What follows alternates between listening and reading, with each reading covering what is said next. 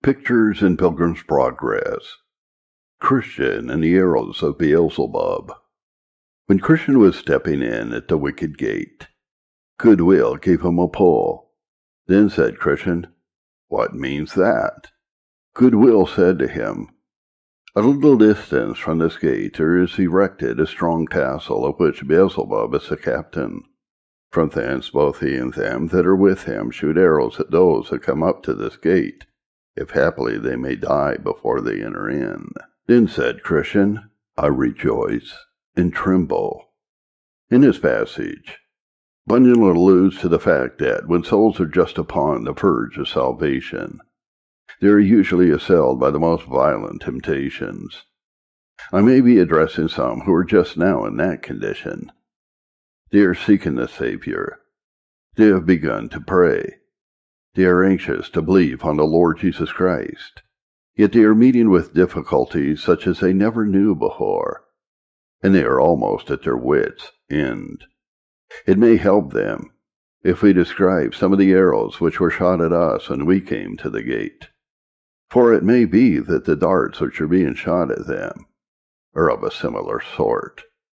The most common one is this the fiery arrows of the remembrance of our sins.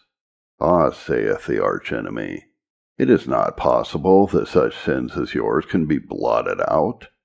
Think of the number of your transgressions. How have you gone astray from your birth? How have you persevered in sin? How have you sinned against light and knowledge? Against the most gracious invitations and the most terrible threatenings? You have done despite to the Spirit of grace. You have trampled upon the blood of Christ. How can there be forgiveness for you? The stricken soul, crushed under a sense of sin, naturally endorses these insinuations. It is true, he says, though it is Satan who says it. I'm just such a sinner as he describes. Then the poor soul fears whether pardon can be possible for such an offender and probably he thinks of some gross sin that he has committed. The blasphemer recollects his profanity. The unchaste man remembers his lasciviousness, and Satan whispers in his ear, If you had not committed that particular sin, there might have been hope for you, but that transgression has carried you over the verge of hope. You are now like the man in the iron cage. Despair has laid hold of you, and for you there is now no deliverance. Poor heart! There are many passages of Scripture that ought to be sufficient to break or blunt all these fiery darts of the wicked one. These, for instance, the blood of Jesus Christ the Son cleanses us from all sin. All manner of sin and blasphemy shall be forgiven to him. Him that comes to me I will in no wise cast out. God grant that they may be effective in your case. Sometimes another satanic temptation strikes a sinner like a bolt shot from an ancient crossbow. It is this it is too late for you to be saved. You had many gospel invitations when you were young. You were almost persuaded, while you were but a youth. But you halted so long between two opinions that at last the Lord lifted his hand and swore in his wrath that you should not enter into his rest. You are therefore now past all hope. There are many who have been for years burdened with this terrible fear, and there are some who seem to be like the prisoners in the condemned cell at Newgate, who could hear the big bell of St. Sepulchre's tolling their death knell. Yet there is not a word of truth in these insinuations of Satan. For as long as a man is in this world, if he does but repent of sin and believe in Jesus Christ, he shall be forgiven. There have been many sinners saved at the very end of their lives, as the penitent thief was. Many have been brought to Christ and have been permitted to work in his vineyard, even at the eleventh hour of the day.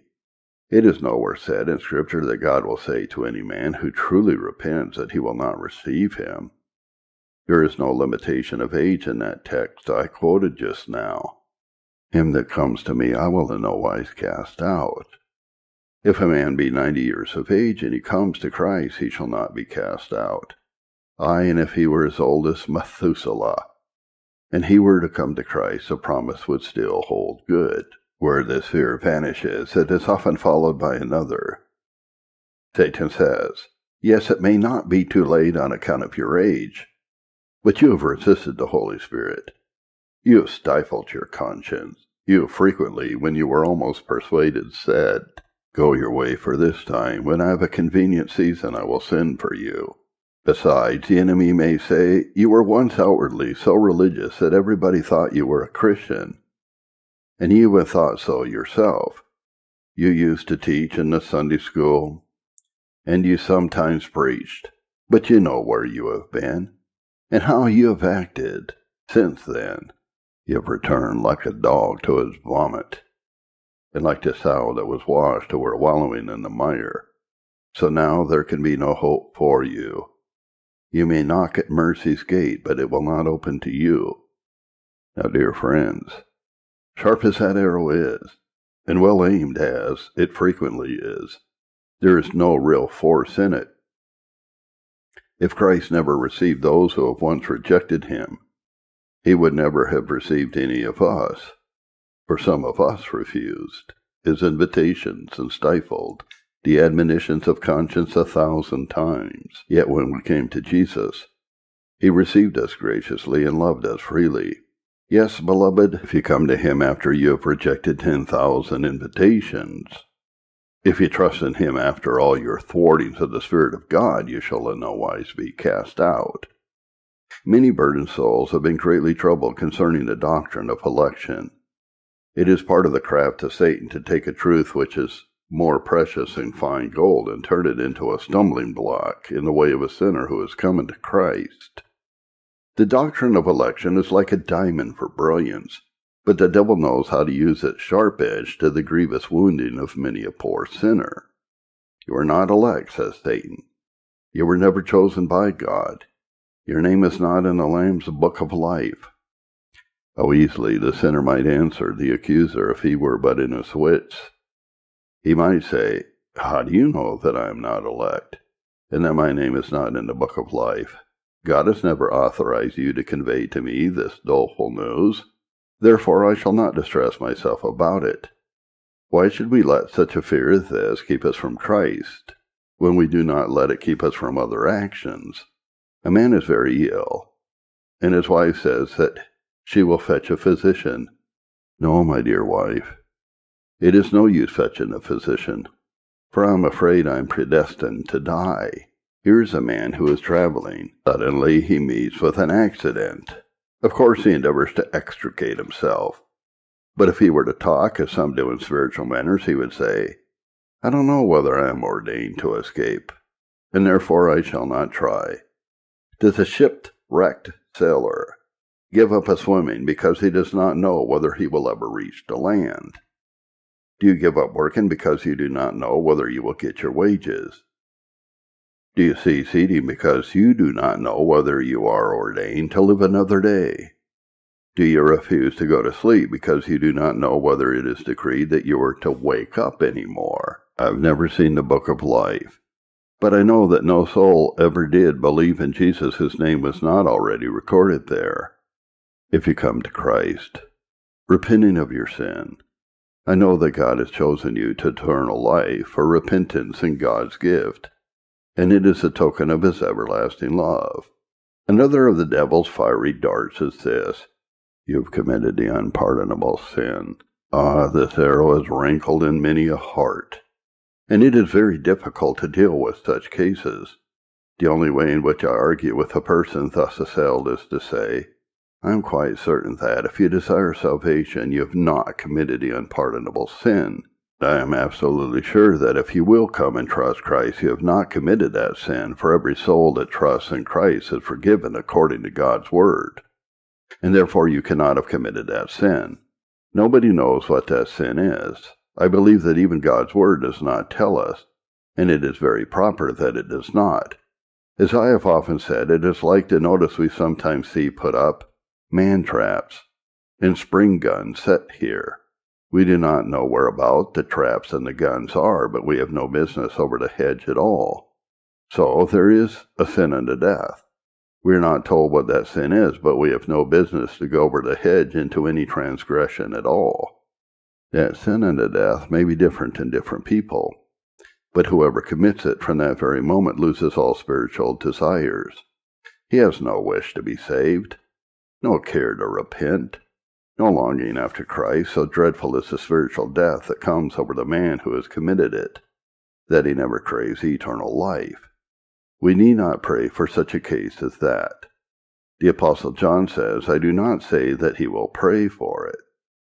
I have met with some few cases in which there has been such stolid indifference to all divine things, or such jeering, mocking scorn at everything spiritual, that though I would pray for the very worst of sinners, I have felt, I cannot pray for that man.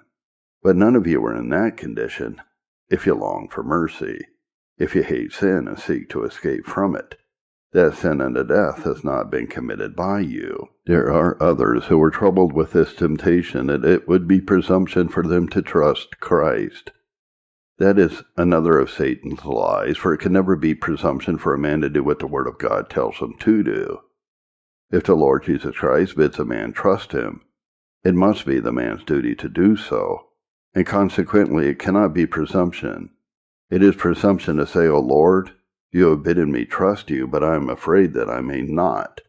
That is presumption of the worst possible kind. I cannot repent as I would, says one. Who made you a judge of your own repentance? You were told to trust in what Christ has done. But I cannot pray as I should like to do.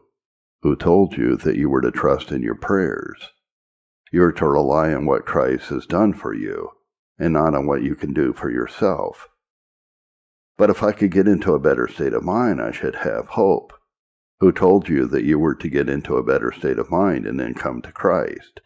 The gospel message is come just as you are, poor sinner, and cast yourself upon Christ, resting entirely upon the person, the blood, the righteousness of the once crucified but now exalted Redeemer.